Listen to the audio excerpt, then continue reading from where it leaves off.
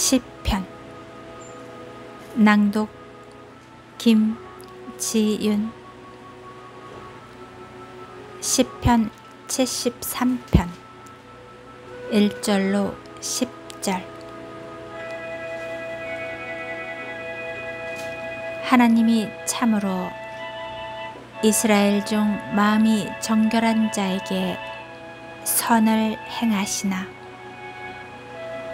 나는 거의 넘어질 뻔 하였고 나의 걸음이 미끄러질 뻔 하였으니 이는 내가 악인의 형통함을 보고 오만한 자를 질투하였음이로다. 그들은 죽을 때에도 고통이 없고 그 힘이 강건하며 사람들이 당하는 고난이 그들에게는 없고 사람들이 당하는 재앙도 그들에게는 없나니.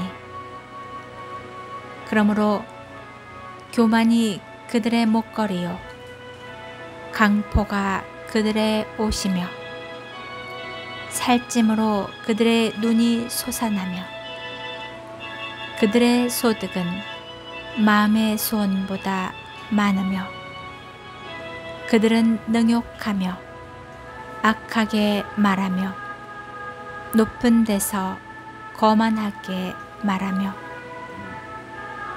그들의 입은 하늘에 두고 그들의 혀는 땅에 두루 다니도다. 그러므로 그의 백성이 이리로 돌아와서 잔에 가득한 물을 다 마시며